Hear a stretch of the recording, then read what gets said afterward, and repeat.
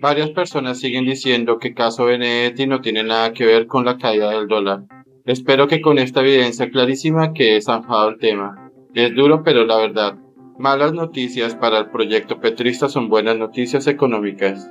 Julio César Iglesias.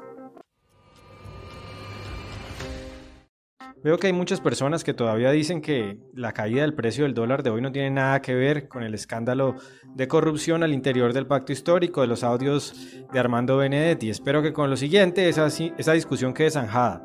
Fíjense a qué hora se conoció eh, el anuncio del congresista David Racero en torno a la suspensión del debate de las reformas en el Congreso de la República. Aquí, según el Twitter de la Cámara de Representantes, eh, faltando cinco minutos para las 11 de la mañana, otros medios como Caracol, eh, alrededor también de las 11 de la mañana, medios como Data IFX lo mismo, Valora Analytic lo mismo, la periodista Catalina Suárez lo mismo.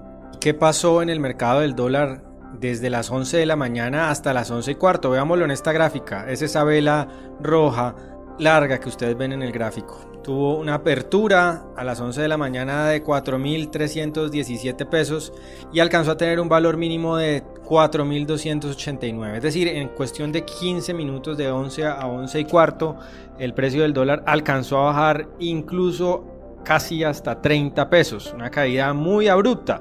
Precisamente en los minutos en los que se conoció que las reformas se iban a dejar de discutir en el Congreso temporalmente.